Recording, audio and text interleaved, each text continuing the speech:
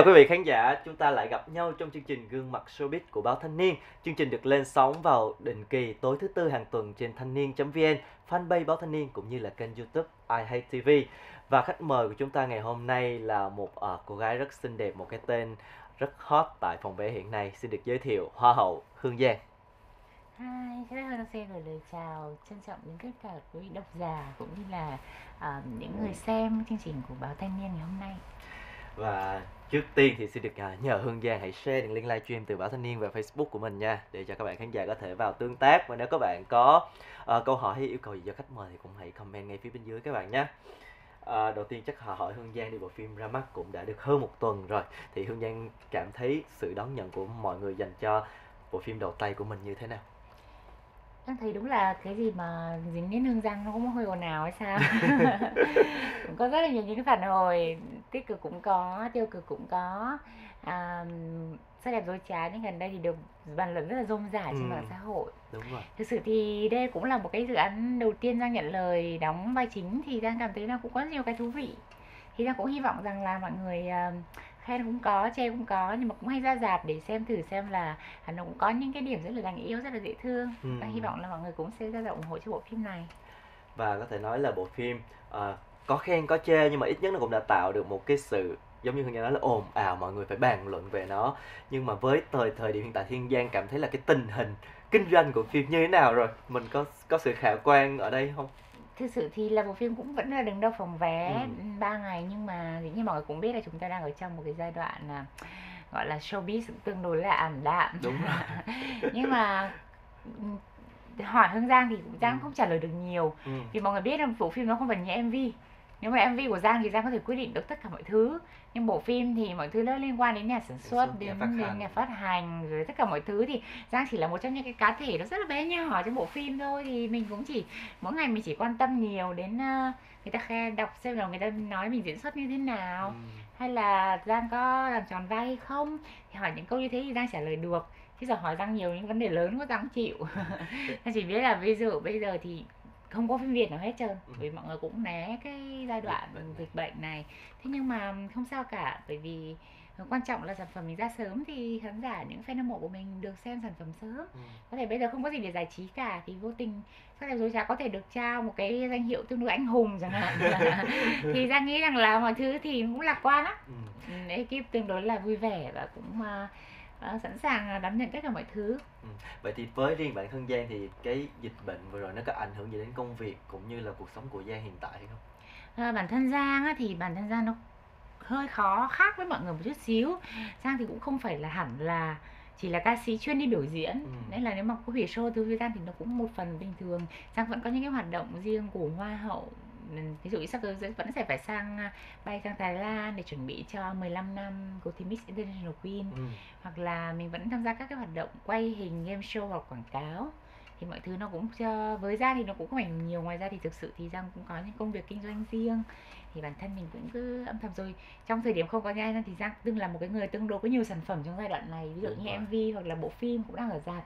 Thì mình cảm thấy rằng là mình vẫn đang hoạt động chứ không không không không về doanh thu thì mình không biết nhưng mà ý là mình hoạt động dựa trên lĩnh vực Ừ. là nghệ thuật thì mình vẫn đang hoạt động vẫn đang uh, hoạt động trong cái giai đoạn này. Đúng là mặc dù có thể là showbiz dạo này hơi ảm đạm một tí nhưng mà riêng Hương Giang thì vẫn cứ rất là rần rần đúng không? MV ra vẫn top 1 này rồi giờ lại có phim ra rất là nhiều hoạt động. Ờ, vậy thì với bản thân Giang cái vai diễn này nó có ý nghĩa như thế nào đối với Giang? Vai diễn này thì ờ, nó giống như là một cái ờ, lần thử sức đầu tiên của mình với điện ảnh trải nghiệm thì Giang cảm thấy rằng là mình cũng làm tròn vai và Ừ. cố gắng hết sức những cái gì mà mình hình dung thực ra sau cái lần làm việc này thì Giang hình dung rằng là à hóa ra một diễn viên là phải như vậy Ừ. thì Giang cũng đã rất là cố gắng nỗ lực connect với các bạn diễn của mình à, rồi là mang lại những cái cảm xúc trong cái vai diễn của mình hết sức có thể thực ra Giang diễn đang ở mức độ là ngây thơ ở chỗ là Giang nghĩ là phim điện ảnh nó là cuộc đời ngoài đời mình sẽ ứng xử với tình huống này như nào thì Giang diễn như vậy thì Giang hoàn toàn không phải diễn viên và cũng không có định hướng trở thành một diễn viên ừ. Giang sẽ chỉ thích làm những cái mà mình cảm thấy là ở cái này mình biết Ừm, kinh nghiệm này mình có rồi Ừm, một người chuyển giới sẽ phản ứng như thế trong một tình huống như thế mình chắc là mình đóng được cái vai này thì Giang nhận lời. Ừ. còn nếu như thực sự trong tương lai nếu Giang có những cái định hướng khác hay là Giang có những ý định khác thì lúc đấy nó sẽ là một cái câu chuyện khác. Vậy thì với ờ, những cái ý kiến mà mọi người bình luận về phim về cả vai diễn của Giang với những cái ý kiến uh, chê thì Giang cảm thấy như là có buồn không? Có bị ảnh hưởng bởi những cái lời chê đó không nói chung là Giang là một trong những cái kiểu tương đối lạc quan. Mấy hôm trước thì cũng hơi suy nghĩ một tí xíu tại vì mọi cứ gọi đây là phim Hương Giang ấy. Đúng rồi. Các bạn sao Giang lại uh, lại uh, ủa bình thường Giang giỏi lắm mà thông minh lắm mà nhưng sao Hương Giang lại để những cái chi tiết đấy nó xảy ra. Ủa nhưng thực sự là Giang không Vậy có không là là mọi người đang bị không? sai bị bị nhầm giữa là Hương Giang đóng phim và Hương Ừ. Giang làm phim. Ừ. nếu như Giang làm phim giống như ví dụ MV đang làm MV thì câu chuyện nó không có làm. Mọi người đang chỉ đóng phim và mọi người hỏi Giang rất nhiều câu hỏi về bộ phim Hương Giang tại sao Hương Giang lại để chuyện đấy xảy ra để chuyện kia xảy ra? Sao lại để phát hành vào thời điểm này? Sao lại để bộ phim xảy ra chuyện này chuyện kia? Giang không thể là trả lời được. Những cái câu hỏi đấy nó ngoài tầm kiểm soát của mình. Bây giờ mọi người hỏi là ừ, sao cái cảnh đấy Giang lại diễn như thế? Sao cảnh đấy Giang khóc lại Giang phải khóc ở cảnh A sao Giang lại khóc ở cảnh B? Ừ. hay là chỗ này sao Giang lại lẽ ra phải cảnh C Giang mới ngượng sao Giang lại ngượng ở C phẩy? Thì Giang trả lời được. Nhưng hỏi Giang nhiều hơn thì mọi người cứ bảo thì lúc đấy Giang bảo là ở thôi chấp nhận tại vì thôi coi như thương hiệu cá nhân của mình nó lớn quá thì nó lấn át hết tất cả mọi thứ thì thôi Giang cũng nếu mà vừa rồi thì Giang cũng buồn, cũng cũng hơi là buồn nhưng mà, kiểu, mình thấy nó cũng vui. Ở cái chỗ là, ơ, tại sao người ta cứ bảo là mình làm? Thì mình làm sao mình làm được? Không có một cá nhân nào có thể làm nên được một bộ phim và nhất là một diễn viên không thể nào mà làm nên một bộ phim. Thì bản thân Giang chỉ làm tốt nhất những cái mà mình có thể và mình suy nghĩ. Còn dĩ nhiên là fan của Giang vẫn rất thích cái vai diễn của Giang vẫn Ừ. khen nó cũng vẫn tốt cho các cái con đường của riêng của Giang sau này. Còn riêng về thành tích của cả bộ phim thì cả ekip cũng đã có những cuộc họp cũng đã có những cái sự nhìn nhận với nhau và bọn mình cũng rất là thẳng thắn.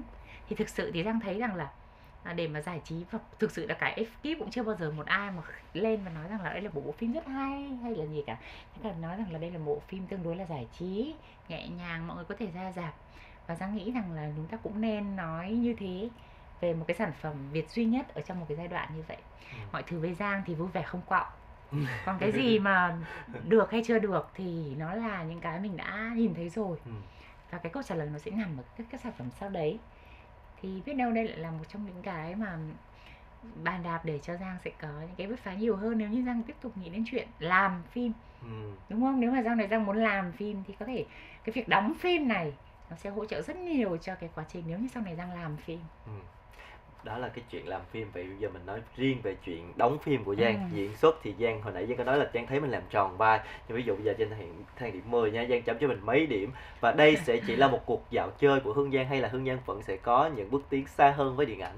Nói chung là Giang chấm thì chắc là được 7 trên 10 điểm. Vậy điểm khá đúng Để không điểm khá tại vì như này là thứ nhất là nói thật là Giang cũng không bỏ quá nhiều cái kỹ năng diễn xuất vào đây. Tất cả giống như Giang nói nó là đời. Ừ. mình thấy mình cảm ứng như nào mình nhớ ngày xưa mình phản ứng như nào thì mình sẽ làm như thế. Và có lẽ sẽ khó có ai mà ngoài cái việc kỹ năng ra về chuyện học hành ra thì Giang nghĩ khó ai có thể nói được gì? Bởi vì họ sẽ khó mà hiểu được cái tâm tư của một người chuyển giới họ sẽ phản ứng như thế nào. Thì Giang là cái người hiểu chuyện đấy rõ nhất. Thì Giang nghĩ là cũng có những cái mà chỉ có Giang biết thôi. Thì Giang nghĩ đâu đó được um, 7 điểm. Vì cái những cái lúc cảm xúc hay Ừ. là kể cả những cái cảnh đánh đấm Ừ. mình đều làm nó một cái cách nghiêm túc nó là dạo chơi thì Giang nói là đúng, cũng có thể là dạo chơi bởi vì mình chưa có một cái gì chắc chắn hay xác định một cái gì với điện ảnh cả Giang cũng không có định hướng làm diễn viên. Cho nên là có thể là nó là một cuộc dạo chơi cũng đúng. Nhưng với Hương Giang thì không có cuộc dạo chơi nào mà không bỏ công sức vào cả. Và công sức ở đây nó nằm ở những cái cảnh hành động, những cái cảnh tình cảm, những cái cảnh cần cảm xúc thì mình đều nỗ lực và đều cố gắng. Thì Giang nghĩ rằng mọi người có thể nhìn thấy được những cái cái điểm đấy nhưng mà Giang có nghĩ là với cái vai diễn lần này bởi vì nó tương đồng với Giang quá nhiều cho nên Giang mọi người sẽ chưa nhìn nhận được cái khả năng diễn xuất của Giang. Mọi Đúng. người chỉ nói là ừ đây Giang chỉ đơn giản là bê con người Giang ở ngoài Ừ, vào đúng thôi đúng đúng, không? Mà đúng thật là như vậy mà. Ừ. người ta chọn Giang bởi vì người ta tin rằng là Giang có thể bê con người Giang vào nhanh nhất thì người ta thấy hợp. Chứ đúng thật là nó chưa thể hiện ra cái gì nhiều nên là thực ra mọi người có thể khen là ừ tròn vai nhưng cũng không có ai wow. Thì thực ra thì cái khả năng mọi người biết là Giang có thể làm được rồi nhưng cũng không có ai kiểu gọi là chê bai hay là gì? Bởi vì đúng thật đấy là con người của Hương Giang ở ngoài và cái vai diễn thì cần như thế. Thì nó không chưa có điều gì đặc biệt lắm. Thực ra mọi người sẽ khen cái dàn diễn viên của bộ phim này hơn. Thì mọi người làm tương đối là rất là tốt. Giang là ở cái mức độ là tròn vai Ừ. dễ chịu. Thì đấy mình cũng vui vẻ. Không có gì quạo cả bởi vì mình thấy đúng mà. Người ta cần cái gì thì mình bê cái đấy vào. Người ta cần con người thật của mình ở ngoài đời mà. Chứ người ta đâu có cần một hương giang diễn viên trong cái bộ phim này đâu. Thì giang thấy là mình làm mọi thứ tốt. Còn với giang thì với riêng những người như hương giang ấy muốn chê thì phải có cách. Còn nếu chê sai cách thì sẽ rất khó mà tác động được đến giang. Vì với giang nghĩ rằng là ừm, chê nó có nhiều cách chê Ừ. và chê bai hay là khen ấy nó là văn hóa. Sẽ có rất là nhiều cái cách để mà người ta có thể chê. Người ta hay nói là thương cho roi cho vọt đúng không ạ? Thì nhiều khi Giang nghĩ rằng là truyền thông cũng nghĩ như vậy và họ họ cho rằng là phải cho voi giọt thật nhiều vào chẳng hạn như thế. À cái cô này cô làm nhiều thứ giỏi đúng không ừ đến cái này đây rồi. Có một cái sơ hở maybe có thể không phải cô này cô tạo ra nhưng ít nhất cô phải chịu trách nhiệm về cái chuyện này.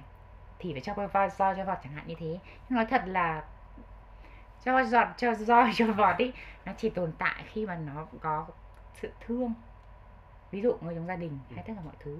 Còn nếu như các cái lời khen chê mà nó lại quá là từ những cảm xúc chủ quan hay từ bất kỳ một cái điều gì đấy nó quá đà hơn thì thực sự và nói là giang ít khi mà tác động đến hương giang cho nên là bản thân giang cũng luôn luôn động viên ekip của mình và mọi người cũng luôn luôn động viên giang cho nên là mọi người rất là tỉnh táo trong tất cả mọi trường hợp Ờ, có thể thấy là với ờ, Hương Giang đón nhận những cái lời khen chê như Hương Giang nói rất là tỉnh táo, rất là ờ, lạc quan nữa. Vậy thì ờ, với Hương Giang, Hương Giang tự nhận xét cái sự nghiệp, cái khả năng của mình hiện tại bây giờ vị trí của mình đang ở đâu? Sẽ không bao giờ răng đưa lên lời nhận xét về vị trí của mình nó đang ở đâu. Vị trí của mình ở đâu á, thì không ai vị trí ở đâu á, thì người đó không thể quyết định được. Có thể tôi nói rằng là ở trong ví dụ trong đầu hướng Giang thì, thì Vương mình lúc nào cũng bay lơ lửng trên đầu Giang hết trơn á. Vì với Giang riêng Giang rằng là queen. Giang luôn luôn tin điều đấy. Nhưng hỏi vị trí của mình ở đâu thì nó nằm ở trong lòng của khán giả. Nằm trong cái sự đánh giá của tất cả mọi người xung quanh những người làm nghệ thuật tất cả mọi thứ. Thì ở đâu nó phụ thuộc vào cái sản phẩm mình mang lại vào những cái cống hiến vào cái cái cái tư duy và tất cả mọi thứ mà mình làm với nghệ thuật. Và chỉ có khán giả thực sự là trong tim khán giả người nghệ sĩ nằm ở đâu thì người nghệ sĩ đó sẽ nằm ở đấy. Ừ. vì cũng không có thể có một ai một cái bộ phận một tổ chức nào đưa một ai đấy lên ngồi ở đó và nói rằng là cô này là cô này đang ngồi ở đây nếu như khán giả họ không chấp nhận đúng không ạ? Vậy thì cái bản chất của nghệ sĩ đến cuối cùng là gì nghệ thuật hay giải trí hàn lâm hay là là là thương mại hay tất cả mọi thứ chỉ có khán giả là người quyết định mà thôi. Thế cho nên là khi hỏi giang đang ở vị trí ở đâu thì giang sẽ nhìn nhận vào cái tình yêu thương của khán giả dành cho mình để mình biết mình ở đâu. Còn mình ở đâu thực sự thì khán giả sẽ là người quyết định cái chuyện đấy. Quay trở lại với Hương Giang ca sĩ, một cái ờ, series Adoda đã rất rất là thành công. Với giờ nhìn lại thì Giang cảm nhận được cái thành công lớn nhất mà cái series đó mang lại cho mình là điều gì? Giang thấy nó mang lại rất là nhiều thứ. Thứ nhất là những cái bản hit này. Ừ. Thứ hai là những cái thành tựu Những cái kỷ lục được xác lập về YouTube Về về nhạc số Về show diễn Rồi về các cái cơ hội liên quan đến diễn xuất Rồi tất cả mọi thứ. Thì Giang cảm thấy series đấy nó mang cho mình nó rất là nhiều. Thứ hai nữa là nó cho ra một cái thương hiệu cá nhân. Ờm, Trong âm nhạc mà mình tạo dựng được thương hiệu cá nhân Thì nó cũng tương đối là tốt Mọi người là không phải là, Có rất là nhiều người làm theo cái hình thức series, Nhưng mà có thể giữ được cái sức nóng trong 4 tập thì nó là một cái sự cố gắng rất là nhiều của Hương Giang cùng với những cái người cộng sự của mình. Thì Giang cảm thấy rằng là mình biết cái đường đi và biết cái cách làm. Thì Giang cảm thấy là vui khi mà Giang tạo ra được một cái thương hiệu Tuesday Universe. Nó nó nó thành công và đặc biệt là cái sản phẩm đầu tiên là series Adoda thì Giang có rất là nhiều những cái tự tin để có thể kết thúc nó lại và mình vẽ ra một cái vũ trụ khác và mình sẽ thử nghiệm nó với những cái công thức khác nhau để xem rằng là cái vũ trụ mà mình tạo ra âm nhạc đấy nó sẽ đi đến đâu Ừ.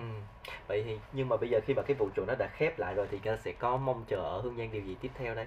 chắc chắn là mọi người đang chờ đợi một cái vũ trụ khác Ừ. nhưng mà thực sự thì ít ai mà có thể đoán được là Giang sẽ làm cái gì nếu như Giang có 100% quyết định nếu nó là sản phẩm của Giang Ừ. thì chắc chắn là Giang sẽ có những cái suy nghĩ khác và và Giang sẽ không phải là giấu nhưng mà mọi người sẽ không đoán được đâu. Thì Giang cũng đang chờ đợi là mình sẽ bắt tay vào làm cái gì đầu tiên. Thực sự là như thế. Thì khi mà Giang khép lại cái series Adoda thì Giang đang mở ra một cái vũ trụ mới. Thì có thể là nó sẽ thú vị hơn hoặc là có thể nó gai góc hơn cũng có thể là nó sẽ không dễ tiếp cận hơn. Nhưng mà nó phải luôn luôn đổi mới thì mới là là mình và nó Ừ. mới là nghệ thuật. Ừ. Vậy thì với những cái lời khen chê của truyền thông thì Hương Giang luôn tỉnh táo nhưng với những cái nhận xét của khán giả thì sao? Hương Giang có đọc hết những tất cả những cái bình luận, comment về mình không? đọc chứ đọc hết tại vì ví dụ như vậy này cái tính ở Giang á à không không đọc hết Ừ. tại vì thường mọi người tác tác Giang vào thì thường ra thường á, là những cái người họ đã tác thẳng mình thì thường là họ khen những cái người mà chê á, thì thường là họ sẽ inbox thì Giang rất là thích những cái người đấy bởi vì họ khen họ tinh tế Ừ. họ cũng không hẳn là chê họ góp ý cách chân thành. Đấy thì bởi vì đang nói thật là với với mỗi một cái người họ phải có cách cách cơ. Thực ra một nghệ sĩ khi mà họ có những cái thành công nhất định ấy, đừng có nói là cái tôi của họ không cao đúng không ạ? Nếu như cái tôi họ không cao và họ không bướng thì họ không bao giờ tạo ra những con đường riêng cho mình. Đúng. thì với một nghệ sĩ như thế cái việc khen chê ấy, nó cũng phải rất là khéo léo. Không phải là cứ cố dùng những cái từ ngữ phủ nhận đi cái thành quả của người ta thì người ta sẽ cảm thấy tổn thương hay người ta sẽ lắng nghe đâu không có. Khen chê nó cũng phải rất là khéo với giang cũng như vậy. Thì còn những cái người mà họ khen họ rất là là là dễ thương thì mình cảm thấy rằng là mình sẽ rất là muốn lắng nghe. Cái nghệ thuật khe chê ấy nó có một cái hay như vậy này. Bạn có thể chê rất đúng 10 gạch đầu dòng. Nhưng mà bạn nói sai một câu ấy, thì nó sẽ phủ nhận đi tất cả. Ví dụ như gần đây giang có đọc một cái bình luận tự dưng của bạn thì facebook giang bình luận là chị ơi hãy giả lại tiền vé xem phim cho em bởi vì như thế này như thế này thực ra cái bạn đấy là một cái người tương đối là tinh tế. Những nhận xét của bạn đi nhận xét giang thì cũng đúng. Ừ. nhưng chỉ vì một cái câu là hãy trả lại tiền vé xem cho em Ừ. thì tự dưng ra không muốn đọc nữa. Ủa vì giang đâu có bảo là bạn ra xem rạp xem phim nhưng bạn không thích giang trả lại tiền. Không đâu có nói như vậy thì mắc gì vào vô đòi tiền giang đúng không ạ? Mà giang đâu phải là, là phòng vé giang đâu phải nhà sản xuất giang đâu phải đạo diễn giang không phải là là nhà phát hành giang không có làm cái gì cả giang chỉ là một diễn viên. Ừ. nên thì giang giang trả lại tiền bạn được mà giang không hề nói như là nếu bạn đi ra mà không hài lòng thì giang giả đúng không ạ? Ừ, đúng thì những cái cái việc mà khen hay chê ấy nó phải rất là khéo léo ở chỗ là như vậy. Nếu muốn thể hiện quan điểm của mình thì phải thể hiện nó một cách chân thành Ừ. thì người ta mới có thể cảm nhận được còn nếu như bạn chỉ muốn chứng minh một cái điều gì đấy là bạn có một cái khả năng như thế này bạn có một cái ờ, cái sự ờ, trịch thượng như thế kia hay là bạn là một cái người giỏi bạn có quan điểm nhưng nếu nó không xuất phát từ sự chân thành ấy, thì người ta sẽ không thể lắng nghe. Ừ. cho nên là Giang sẽ đón nhận tất cả những cái lời nhận xét khen có chê có nếu như Giang cảm giác nó là sự chân thành. Còn nếu như kể cả lời khen với Hương Giang và Giang cảm thấy ủa có hơi thoải mái quá không dạ thì thực sự mình cũng không bao giờ mình tin vào Để cái lời đấy một trăm phần trăm để mà mình tự huyễn hoặc bản thân mình không bao giờ có chuyện đó. Vậy thì bây giờ Hương Giang sẽ trả lời lại như thế nào với những cái ý kiến như thế này nhé. Hương Giang cuối cùng cũng không phải là quái vật nghìn máu lần đầu tiên gặp trở ngại trong chính sản phẩm điện ảnh đầu tay của mình. đúng rồi Giang đâu phải có vật năm nghìn màu đâu. Nhưng mà có lẽ mọi người tưởng như thế thì mọi người quá kỳ vọng thì đâm ra là mọi người từ một cái bộ phim nó có nhiều cái vấn đề thì mọi người tạo ra cảm thấy là thất vọng quá. Chính vì cái sự thất bị bị hụt hẫng và thất vọng nên đâm ra nó đưa tới những cái ngôn từ theo Giang á thì nó thiếu sự support. Ừ. nhưng mà với, với Giang nó bình thường thôi vì giống như Giang nói đấy. MV nó khác nhưng trong một bộ phim vai trò của mình nó chỉ rất là nhỏ thì nó đến đâu thì mình chỉ có thể chịu trách nhiệm được đến đấy. Còn nó lớn hơn thì mọi người phải gửi câu hỏi này cho những người khác còn Giang Giang chịu Giang chỉ là cái người duy nhất xuất hiện ở trên là người duy nhất xuất hiện ở trên các phương tiện truyền thông nên mọi người chỉ nhặt tóm được Giang để mọi người hỏi hỏi hỏi hỏi sao Giang biết được Giang cũng không biết Giang không phải là chỉ kế toán mọi người ạ à. không thể trả lời cho mọi người tất cả những câu hỏi được mọi người phải tìm chỉ kế toán đúng không ạ Giang không phải là người như thế Rồi, thì còn Hương Giang là cô gái chiêu trò nhất showbiz Việt. Cô tự nhận mình thông minh nhưng thật ra thì chấm chấm chấm. À, thông minh là mọi người khen. Mọi người tự nói mà nói nhiều quá thì mình cũng có một chút mình tin là mình như vậy. Còn để mà nói Giang nhận Giang thông minh thì Giang nói thật Giang bảo thật sự ước gì mọi người bảo Giang là ừ cô này đơn giản quá. Ừ. cô này ừm, ngây thơ quá. Nhưng giờ có ấn đưa mic cho mọi người liệu có ai nói câu đó hay không? Không đúng không? Người ta nhìn nó mặt hương giang người ta bảo là chắc chắn cô này phải luôn tính toán rồi. Cô này làm cái gì chắc cũng phải nhìn trước nhìn sau rồi. Rồi. thực sự không phải như vậy. Nhưng thực ra cái bộ phim này nó cũng tốt cho mọi người thấy rằng là ừ, không phải giang cũng ngây thơ lắm kìa đúng không? Nhiều khi là cũng ngây thơ lắm đâu cần phải nhìn trước nhìn sau đâu cái gì cảm thấy vui happy thì làm thôi không có gì cả. Sao thì cái nghệ sĩ tính vẫn luôn tồn tại đúng không? không với cả để cho mọi người thấy rằng là không nhất thiết là lúc nào cũng phải cho rằng là khi nếu mà hương giang chắc chắn xuất hiện thì chắc chắn nó phải thế này phải thế kia không? Thực ra giang muốn mọi người giảm bớt cái sự kỳ vọng của mình để mình làm cái gì nó cũng bớt áp lực. Thế thôi đơn giản là như thế. Còn sản phẩm ra nếu tự nhiên đột nhiên nó tốt thì lúc đấy người ta khen mình thế thôi chứ người ta kỳ vọng nhiều thì câu chuyện nó sẽ khó khăn hơn Ừ. Nên Giang cũng không hy vọng là mọi người Thực ra mọi người cũng cần cần khen Giang thông minh đâu Mọi người có thể nói Giang ngốc nghếch Ngây thơ cũng được Nhưng liệu có ai nói như vậy không Thì đấy là vấn đề của mọi người thôi Ừ. Vậy thì bây giờ quay lại nếu Hương Giang là người làm phim nhé được thay đổi một vài điều trong cái tác phẩm mua đồ của mình thì Hương Giang sẽ thay đổi những điều gì? Nó sẽ không bao giờ trả lời câu hỏi này bởi vì đơn giản mỗi một sản phẩm nó đã gắn một cái tên của một ai đấy thì đó là cái sản phẩm của mỗi người. Ừ. và khi mình đã đặt niềm tin vào và khi mà mình ngồi chung một con thuyền thì mình không có thay đổi gì cả vì mình đã tin mình trao sản phẩm thì đó là chuyện như vậy. Và những nhà đầu tư người ta còn chả nói gì dưng một diễn viên lao ra thay đổi thay đổi cái gì không? Không có có nhu cầu thay đổi gì cả. Và giang nghĩ rằng là tất cả mọi thứ nó đều là sản phẩm nó đã được đưa ra. Thì nếu nó thành công thì tất cả cùng vui còn nếu nó chưa được như mong muốn thì mọi người đều có những cái bài học.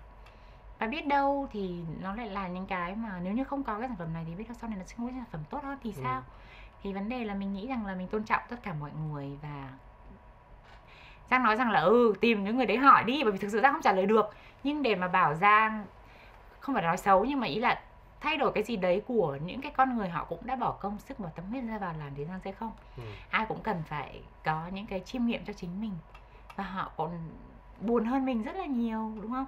Thì tự họ đã có những câu trả lời trong lòng của họ rồi mình không cần thiết phải thay đổi cái gì lúc này cả. Vậy thì ờ, nhớ lại quá trình quay phim, cái điều gì làm Giang cảm thấy thích thú hài lòng nhất cho mình? Hoặc là cái cảnh phân cảnh nào trong phim mà Giang cảm thấy là mình tâm đắc nhất? thích thú hài lòng ở chỗ là thứ nhất là mình biết rằng là MV thì nó chỉ quay hai ngày thôi. Bạn không cần phải cố gắng cái gì nhiều, không cần phải kết thân với diễn viên thật sự ở ngoài để mà có thể diễn được hay. Vì nó là diễn, cái nó rất là ngắn, nó còn có âm nhạc mọi thứ, nó che lấp nữa. Nhưng mà diễn viên ấy thì nếu như mình không thân với nhau, ngoài đời không tìm hiểu nhau thì thực sự khi mình vào vai nó rất là khó. Đang biết được là làm một cái cái việc diễn viên nó không dễ dàng. Nó không nói làm phim nhé đơn giản là làm diễn viên, đang thấy nó không dễ nó rất là phức tạp rồi tập tành mọi thứ khó. Khi đánh lên cảnh hôn bình thường nếu mà hôn MV nó cũng dễ. Ừ. mà hôn hôn mà 300 inch xoay máy quay quay tất cả mọi góc nó khó hơn rất là nhiều. Đánh đấm cũng vậy nếu đánh qua đánh mà đánh đánh, đánh chọn góc máy thì đánh thì đơn giản. Nhưng mà đánh làm sao mà để thấy nó thật nó nó nó nó nó nghiêm túc thì nó cũng phải tập luyện rất là nhiều. Bằng chứng là giang gãy chân rồi đau lưng rồi xước xác tất cả mọi thứ. Thì đấy là những cái mình thấy thú vị ở chỗ là ờ, một cái công việc nó rất là vất vả mình hiểu nó như vậy chứ nó cũng không phải là một cái công việc dễ dàng Ừ. Vậy thì với như Giang nói là phải làm thân với các diễn viên thực sự vậy thì bây giờ Giang thân với ai nhất trong ờ, các diễn viên trong phim? lúc quay á, thì thân với Phát La nhất Ừ. tại vì Phát La với Giang có cái câu chuyện nó rất là vui tức là cái vai của hai người là rất là thân nhau mọi người xem phim thì mọi người cũng thấy là hai người là thân nhau đi cùng với nhau và Phát La đóng một cái vai là gay nhưng mà lúc đầu mới đang mới gặp thì không có biết Phát La là ai. Bạn này là ai hay như thế nào? Bạn này ngoài đời chơi với ai? Nghề nghiệp là cái gì? Tính cách ra làm sao? Thì làm sao có thể thân được? Thì ra Phát La có một câu chuyện rất là vui đó là cái hôm đầu tiên cái lúc đó là Giang nghĩ rằng là ngày mai khi mà Phát La bay đến á, thì nhiệm việc đầu tiên là mình phải kết thân với Phát La. Thì khi mà Phát La vừa xuống ăn sáng thì Giang mới gọi là Phát La Phát La lại đây. Ừ, tối nay Phát La có rảnh không? Có phòng Giang ngủ thì, thì Phát La không hiểu gì cả vì bạn ấy là trai thẳng mà bạn ấy không hiểu tại sao lại tự dưng sao lại rủ bạn ấy qua ngủ. Sao mà không hôm nay chị em mình phải ngủ phải ôm nhau phải tâm sự. Em ở ngoài em chơi với ai? Em làm cái gì? Em thân với ai? Như thế nào? Em phải kể chị nghe và trong mắt chị bây giờ em phải là một cái người mà gọi là gay đi. Để để làm sao mà thật là thân với nhau để để để để để khi mà mình đóng mình cảm giác là mình thân thật. Thế khi mà làm được như thế thì đúng thật là khi mà mình lên phim ấy bây giờ bỏ qua tất cả những cái vấn đề cái thì nói về diễn xuất của các diễn viên nhé thì phải nói là phải là diễn rất là tốt Ừ. rất là duyên dáng và mọi người cũng thể cảm nhận được cái tình cảm giữa nhân vật chính với cái nhân vật đó nó có một cái sự thân thiết thì sang thấy cái hạnh phúc về những cái điều đấy Vậy còn ờ, Karen và Tuấn Trần thì sao? Là hai cái người mà có thể nói là cũng có mối quan hệ với Hương Giang trước đó đúng không? Karen á thì em nghĩ là không Karen là một cái cô gái rất là dễ thương tức là Karen ở ngoài nó khác hẳn với cả với cả Những cái hình ảnh những người cái hình ảnh không? người thấy. Nhưng mà Karen thì không không phải là người giỏi kết bạn lắm. Thì đâm ra là là là là cũng hơi ngại. Nhưng mà khi Karen có vấn đề gì thì vẫn sang phòng Giang nói chuyện. Đó. À, còn Tuấn Trần ấy thì lại là một cái trường hợp khác. Tuấn Trần thì là một cái trường hợp mà ờ, cũng thân nhưng mà theo kiểu là online. Online. tức là theo cái kiểu là sẽ quan tâm bằng cách là nhắn tin hỏi han nhiều. Ừ. chứ không ít khi hai người gặp trực diện hay ngại không không không không có cái sự thoải mái như là Vuka hay Phát La với Hương Giang. Thì Tuấn thì hay hay nhiều nhất là dặn dò về chuyện ăn uống ấy. Mình không biết nhưng mà bạn ấy có một cái cái sở thích đặc biệt lúc nào cũng bắt mình ăn. Tức là cũng khi mà Tuấn gặp chuyện gì là đã ăn chưa? Sợ Giang không có ăn sức làm chưa? việc. tức là lúc nào quanh quẩn Tuấn với Giang cũng chỉ có một câu chuyện ăn thôi thì thì thường là hay hỏi như vậy Tuấn thì khá là quan tâm trong khi mà quay phim về rồi Ừ. hay là đang quay? Khi mà Tuấn không ở Hội An ấy Tuấn cũng hỏi là thế Giang hôm nay ở Hội An Giang quay như thế nào? Có tốt không? Rồi là quay cái cảnh hành động thế Giang có mệt không? Có ăn uống gì chưa? Hay là ví dụ kể cả khi quay phim xong hết rồi về thì bảo là ví dụ như có những cái sự kiện đi hay Giang được giải hạn thì cũng chúc mừng Giang được giải. Ừ. này nọ. Thì bạn ý thì cũng tương đối là chủ động. Giang thì chẳng bao giờ Giang nhắn tin trước. Nhưng mà thỉnh thoảng lâu lâu thì thấy ơ có cái bạn này cũng, hay. Nào có mình có cái gì mình thấy bạn ấy cũng theo dõi bạn ấy cũng nhắn chúc mừng thì Giang thấy bạn ấy cũng rất là lịch sự rất là ga lăng thì mình cũng trả lời. Thì Ừ. dần dần hai người cũng có cái mối quan hệ tương đối là thân thiết nhưng tất nhiên nó là online thôi. Chứ không có ra ngoài không hẹn nào không ăn tối không có gì cả. Ừ. thì hầu hết là mối quan hệ nó đang ở mức độ là online. Ừ, nhưng mà người ta nói là ví dụ như mà nếu như không có gì thì nó rất là bình thường đấy rất dễ vui vẻ kết thân nói chuyện mọi thứ. Nhưng mà ví dụ khi mà có một cái gì đấy thì nó thường sẽ có một cái sự ngại ngùng cái đấy thì đang không biết. Ừ, đấy thì phải hỏi Tuấn. Ừ. vậy thì vậy thì với Hương Giang Tuấn Trần là như thế nào? Nào là như từ nào? tức là trong từ ví dụ như mọi người thấy từ trong nghề ấy là ai nhá là Giang Thả Thính Tuấn Trần rất là tích cực này. Đấy sau rồi sau đấy vào bộ phim cũng lại đóng vai là người yêu của nhau đúng không? Thì là hai cái người mà cảm thấy có chemistry khi mà cùng hoạt động nghệ thuật cùng đóng vai thì hai người có cái ngoại hình tương đối là đẹp đôi và có thể dễ làm cho khán giả cảm thấy yêu mến thì hiện giờ nó là như vậy. Thì thực sự mọi người biết Giang ngồi hàng biết bao nhiêu chương trình từ quý ông đại chiến đến người lê ai? Không có thiếu chàng nào mà Giang không thả tính bởi vì đơn giản nó là cái công việc nó là mang lại cái niềm vui cho mọi người và cái tính của mình mình cũng vui vẻ như vậy. Ừ. nhưng thực sự để mà biết Giang thích ai nó là một chuyện rất khó nhá. Ừ. Giang thích ai thì thực ra mọi người không thể biết được bởi vì ai Giang cũng vậy à?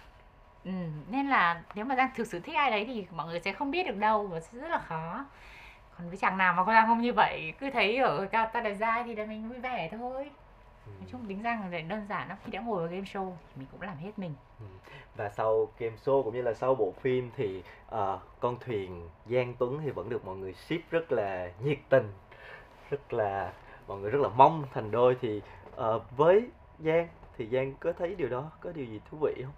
Ừ, mình thấy rằng là đầu tiên là Tuấn với Giang được ship rất là nhiều Ừ. còn ngoài Tuấn ra thì Giang cũng được ship rất là nhiều luôn. Có chương trình gì mà có ai chàng trai nào nhen nhóm thích Hương Giang một cái là thôi khán giả đẩy cô con này? Giống như kiểu là cô nàng ế quốc dân nhé. Kiểu, có ai mà đến rước cái là thôi thôi thôi chị ơi chị ơi được được chị ạ. Ngày xưa Khánh Ngô cũng thế. Rồi đến bây giờ gần đây gì nhỉ Huy Trần à? Ừ. có cái tin bạn ấy chia tay bạn gái đó thì xong cũng ôi chị ơi Huy được đấy Huy được đấy. Rồi đến Tuấn lại ôi chị ơi anh Tuấn đi MV Philip. Chị ơi Philip được. Tức là giống như kiểu là ế lắm rồi bây giờ thôi, thôi ai rước thì thôi chị đi dùm bọn em gái đi. Tức là đang thấy là đang thấy hạnh phúc ở chỗ là như này mọi người đều mong mình được hạnh phúc. Ừ. thì cái đấy là mình thấy happy. Ngoài những cái gọi là mũi dìu showbiz kiểu mình thấy ở showbiz này sao áp lực quá.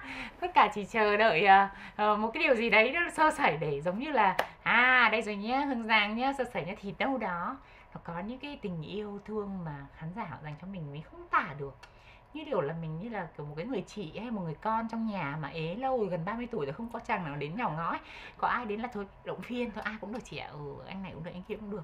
Thì đang thấy là happy khi mọi người ship mình như vậy. Thì người ta ship thì tức là người ta mong mình hạnh phúc. Vậy thì bây giờ chương trình có một thử thách dành cho khách mời. Hương. Giang.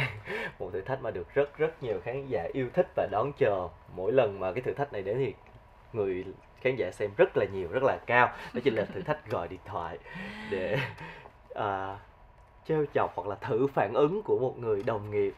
Thì biết luôn nè. đó hôm nay thì bây giờ Hương Giang có thể thực hiện một cuộc điện thoại cho Tuấn Trần được hay không nè? Nhưng mà Tuấn cũng là trong ekip đoàn phim và cũng đi giao lưu kiểu này với Giang nhiều rồi bạn ấy chắc chắn là sẽ biết đó. Không thì bây giờ mình phải thì cái khách thử thách dành cho khách mời là làm sao mà khách mời tưởng thật? À quên làm cho người bạn kia tưởng mình đang nói thật thì đó là nhờ vào tài nghệ của khách mời. Đây để coi. Lo quá. Không biết ông nghe máy không nữa kìa. Mình mở loa ngoài cho mọi người cùng nghe nha. Nhưng mà Tuấn ít khi cầm điện thoại lắm. Thiệt ừ, vậy hả? không gọi nổi đâu. Nói thật đó. Online 26 phút trước thì chắc là không cầm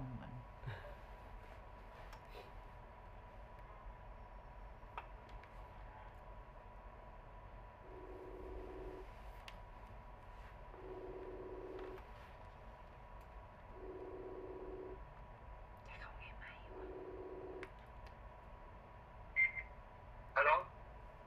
anh đang làm gì vậy Ờ, anh đang đi quay nè, sao vậy? quay hả nói chuyện được không Ờ, ờ, ok nói đi. không thì kiểu tự dưng thấy buồn thôi Ủa sao đấy? thì giờ phim ấy em chỉ là diễn viên Ờ. thôi mà đúng không em đâu có phải là người làm phim đâu mà giờ mọi người cứ bảo phim Hương Giang ấy thì cũng buồn chút thì chả biết tâm sự với ai ừ. Trời ơi, có có có có gì đâu với lại ủa ủa ủa mà là à, à, đúng rồi đúng rồi đúng rồi. Tội nghiệp thì đó nhiều áp lực quá nè. Sao tự dưng em phải gánh chịu chứ? Ủa nhưng nhưng nhưng mà nhưng mà cuối cùng rồi à, bữa bữa gì danh tôi nó ổn em? Thì cũng được. Nhưng mà ý là mà mình buồn với cái áp lực của mình ý nhưng mà anh thấy em làm tốt mà. Anh thấy em diễn này kia làm mọi thứ thì nếu như mà. mọi người chỉ nói về chuyện diễn thì đâu có gì để nói. Nhưng mà còn cứ bảo phim Hương Giang ấy em đâu phải phim của em đâu. Chán quá à, bây giờ làm sao ta anh đi quay cái gì vậy? Anh nghĩ là do một số thứ là chắc anh nghĩ là do là tại giờ em nổi tiếng cho nên khi mà người ta PR người ta hay nhắc tên của em thôi cái gì đó đâu. Nhưng mà bây giờ buồn quá lên nè anh đi quay cái gì? À anh đang đi qua game show. Sao gì vậy? Cái ờ, bên uh, kỳ lạ thách đấu á. Mấy giờ mới xong? Tối nay nè. Nhưng mà tối nhưng rồi mà ha em em em, em, em đừng có lo mấy cái chuyện này. Không nhưng nó chỉ là một chuyện thôi em còn có chuyện khác nữa à, chuyện gì á. Thì nhưng mà bây giờ anh xong thì mới nói được. Anh á hả? Ừ. anh thì chắc cũng phải tầm chín mười giờ trẻ vậy. Tại vì anh anh anh xong cái đó là anh còn đi ờ, qua chụp cái bên ờ, Samsung nữa. Vậy hả? Thì bây giờ cái chuyện là giống như là giờ quay phim xong rồi đó. Thì ừ. Mới đầu em cũng không nghĩ gì. Nhưng bây giờ tự dưng không biết nữa tự dưng kiểu lo không? Không lo, không phải. cái đó không? cái đó xong rồi nhưng mà ý là thì kiểu bây giờ kiểu không biết nữa kiểu cũng muốn gặp anh ấy. À vậy hả? Tại vì anh anh thì hôm nay anh quay chụp nè. Không phải là quay biết rồi nhưng ý là nói là không biết tự dưng về nhà xong bây giờ kiểu cứ muốn gặp ý chị em muốn khi nào? Lúc nào có thời gian. Anh thì thì thì, thì anh anh trễ. Thì anh mới nói em là tầm 10 giờ mười mấy anh mới về tới á. Thì em là bình thường á thì bọn mình cũng vui vẻ thân thiết đúng không? Đâu có vấn đề gì đâu nhưng ý là dưng kiểu trong lòng ví dụ nó có những cái kiểu cảm xúc nó khác ấy thì em cũng muốn kể với anh như thế.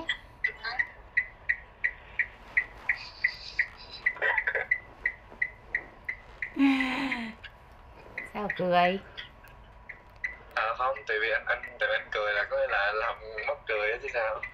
Sao người ta bảo trong lòng người ta có cảm xúc thì lại cười là sao? Thì em mắc cười mà ủa vậy. Thì thì bây giờ em cứ sắp đi ví dụ như có thời gian mình đi ăn đi.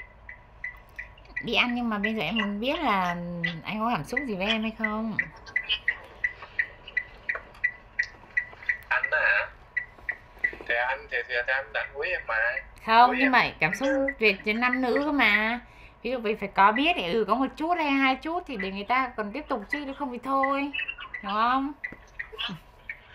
Ôi ôi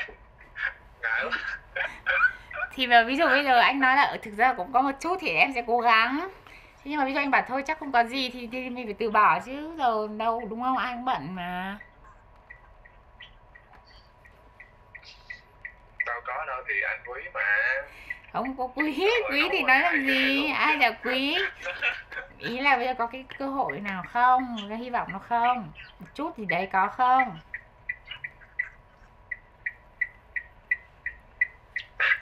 Tự nhiên em em em em em hỏi thẳng anh anh anh, có biết trả lời sao luôn á? Em ai em cũng hỏi thẳng với hết chưa đó? Bởi vì em cảm thấy trong lòng như nào em hỏi như vậy thôi. À không tính em rất là rõ ràng vì bọn mình chưa có cái gì cả. Nếu mà anh bảo là không có thì thì em sẽ thôi luôn. Tính em như vậy mà. Nhưng mà nếu mà anh nói là có một chút xíu hy vọng gì đấy thì thì để từ từ em cố gắng thì anh thì anh anh nói là thời gian thời gian tụi mình gặp nhau á thì tụi mình chưa gặp nhau nhiều. Nhưng mà khi mà anh làm việc với em thì cũng có quý mà. Quý như nào? bây giờ anh trả lời đi rồi. Được có một chút được hay không có hay không thôi chứ đừng có quý kiếp gì cả. Á thì thì thì anh kêu là có có chút xíu mà. Vậy là có hy vọng đúng không? Dạ. thì có đi rồi người ta về người ta cố gắng chứ rồi sao? Trời ơi, em nói. Trời ok. Tính là cái đây tính là đây là một cái trải nghiệm hồi đó giờ mà rất là bất ngờ luôn. Thì bây giờ anh nói là có hy vọng thì em sẽ tiếp tục. Em sẽ nỗ lực. Chứ anh bảo không có hy vọng nào thì em bỏ cuộc.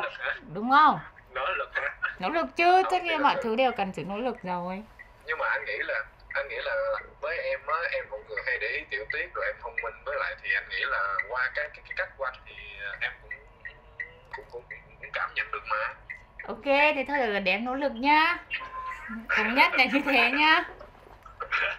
Nhất trí là như thế à nhất trí nhá thế quay tốt nhá. Ăn uống đầy đủ nhá. ờ nhưng mà em cũng nhớ ăn uống đầy đủ nha chứ anh thấy em là bớt lắm rồi đó. Trời ơi có cái câu nào bữa khác không? tôi em mặt mấy này lò lắm rồi đó. Anh có câu nào khác là câu mà ăn uống đầy đủ không? À em nhớ ngủ đủ nha. Ok thế quay đi nhá ok bye bye bye. Em- chết rồi. Quá xuất sắc 10 điểm cho Hương Giang. Trời ơi đó mọi người thấy không? Diễn xuất thì nó cũng được thôi bình thường thôi không có gì đâu. Đang làm được hết mà có điều là muốn hay không thôi nhưng mà Ừ. cũng tội quá tự dưng.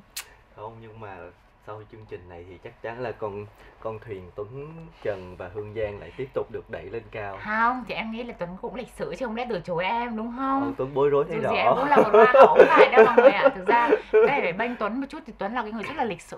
Ừ. bạn ấy không muốn làm tổn thương ai hết chứ không lẽ em là một hoa hậu em ngỏ lời như vậy không lẽ bạn ấy nói là thôi không có cơ hội nào đâu em đừng hy vọng đúng không? Không lẽ ai mà làm như thế? Thôi thì nói chung là chúng ta đã được chứng kiến cuộc nói chuyện của Hương Giang và Tuấn Trần thì chúng ta cũng có những cái cảm nhận của riêng mình đúng không? Ai cũng sẽ tự nhìn thấy những cảm nhận của riêng mình còn người trong cuộc nói gì thì giờ cũng không tin. Thôi được rồi.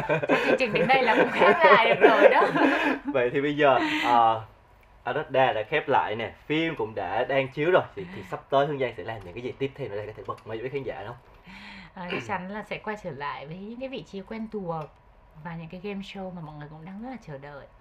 Ừ, thì Giang sẽ quay trở lại bởi vì ngoài cái chuyện đó ra thì nó cũng là những cái hoạt động cộng đồng nữa. Ta cũng sẽ chuẩn bị mang tới cái season thứ hai của cuộc thi Miss International Queen Việt Nam. Ừ. tìm ra cái người ờ, đại diện tiếp theo để tham gia vào cuộc thi năm sau. Ờ, thì trước mắt là những hoạt động cộng đồng. Còn về âm nhạc thì dĩ nhiên là Giang sẽ mở ra một cái cái vũ trụ mới thì hy vọng là mọi người cũng sẽ đón chờ Ừ. những cái cái dự định cũng như các hoạt động của Giang trong năm nay Ngày hôm nay thì rất là cảm ơn Hương Giang đã đến đây với gương mặt showbiz và dành những cái lời chia sẻ rất là chân thành, rất là thẳng thắn và chúc cho Hương Giang những cái dự định sắp tới, những cái kế hoạch của mình sẽ luôn thành công, luôn đột phá và luôn được mọi người yêu thương. Cảm ơn mọi người rất nhiều và giống như Giang chia sẻ thì ừ, thực sự mà nói đây cũng là một trong những cái thành quả một cái những cái sự dũng cảm của cái ekip thì Giang nói thật là nó cũng dễ thương không đến nỗi nào đâu Ừ. cũng yêu yêu là cười cười vui vẻ happy hạnh phúc.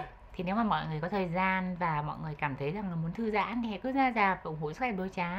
Thanh nghĩ rằng là đâu đó cũng có các diễn viên rất là nỗ lực rất là cố gắng và tất cả mọi người đều cố gắng mang lại cho mọi người những cái tiếng cười thư giãn trong một cái giai đoạn như thế này. Cho nên là hãy ra rạp tiếp tục ủng hộ cho sắc đẹp dối trá cũng như là hương giang và tất cả mọi người nhé và các bạn cũng đừng quên lịch phát sóng của chương trình gương mặt showbiz đó chính là tối thứ tư hàng tuần trên thanh niên.vn, fanpage báo thanh niên cũng như là kênh youtube iHay TV. Còn bây giờ thì xin chào tạm biệt và hẹn gặp lại. Thank you